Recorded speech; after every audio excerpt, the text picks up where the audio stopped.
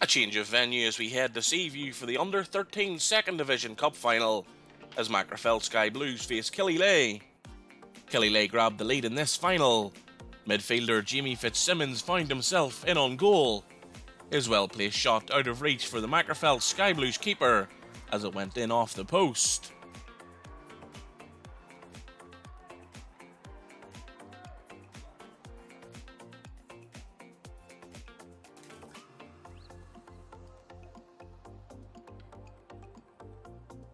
Killyleagh made it 2 0. Magherafelt's high line not working in this final. Finn O'Prey was presented with a chance to score.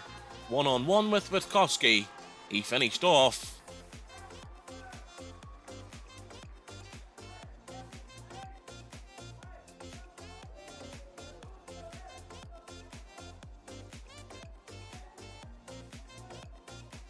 The Magherafelt keeper was on hand to pull off this save, denying Killyleagh's Ewan Donald.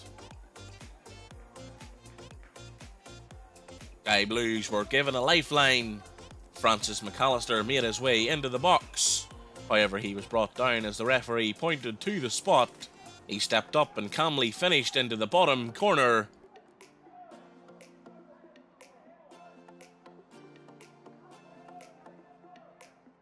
Into the second half, Killyleagh restored their two goal cushion. From this corner, keeper Witkowski came and couldn't claim. Ewan Donald finished off following a goalmouth scramble.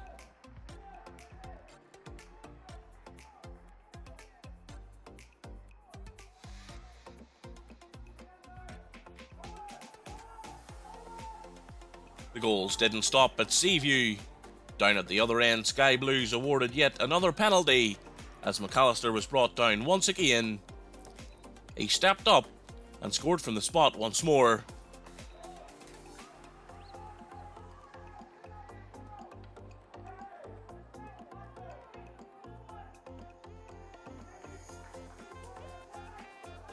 First time ever on SBYFL TV that we had three penalties awarded in the same game to the exact same player being fouled.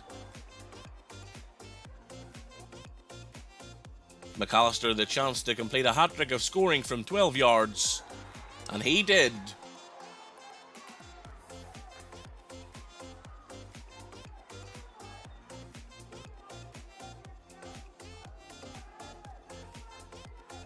Killyleagh looking to retake the lead from Jaden Love.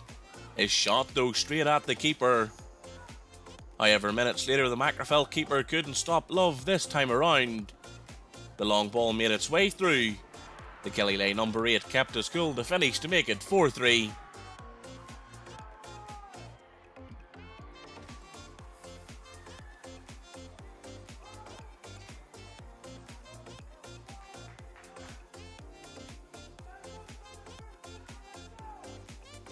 A seven goal thriller brought to an end.